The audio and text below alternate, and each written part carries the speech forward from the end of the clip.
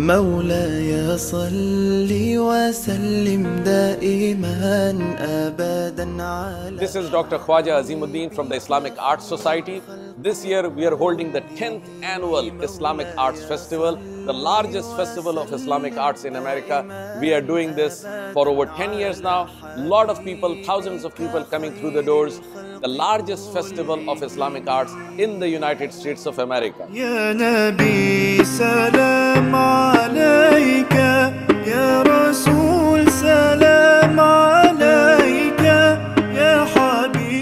Uh, It's very nice organized event. Um, it's very nice to see everybody here, uh, including the vendors inside as well as outside. So it's my first time here. Uh, very impressed with um, the turnout uh, as well as how organized it is and just the overall atmosphere is, is very festive.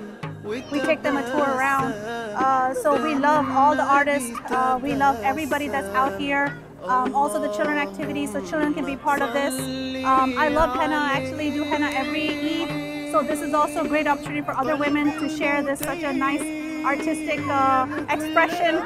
We want to empower these artists to continue doing their art. الأمة بذكر الرسول تشحذ الهمة يا ربي بجاه النبي أزيح الغمة يا ربي بجاه This is such a beautiful event. Um, we have enjoyed the artists. Uh, it's amazing that people have studios at their home, and many don't have any shops to display, and they are doing just such fantastic work. Uh, it's, it's beautiful thoughts. It's extremely creative. you know. Truly enjoyed it.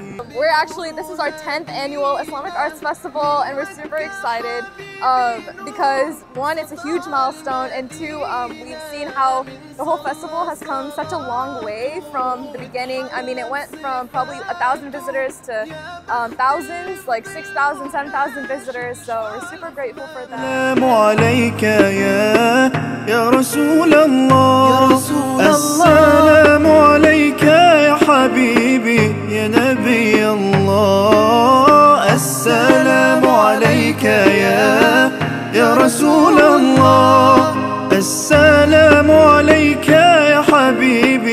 يا نبي الله يا رسول الله.